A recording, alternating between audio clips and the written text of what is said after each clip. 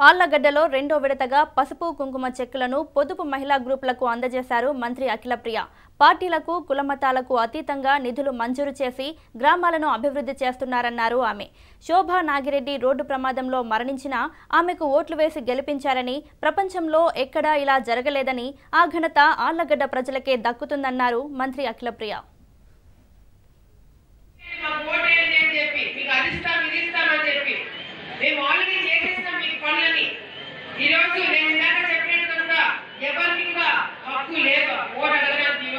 Telugu Desam party వాళ్ళకి తప్ప ఇంకెవరికి ఓటు అడగడానికి హక్కు లేదు.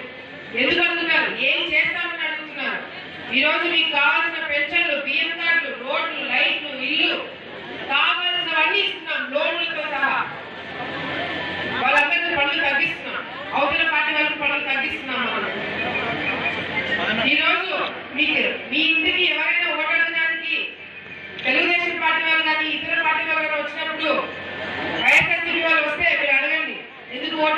మీకు మనం ఏం చేస్తే ఏం చేశారు మీకు ఓటారని చెప్పి మీరు మీరు గట్టిగా ప్రశ్నించాలి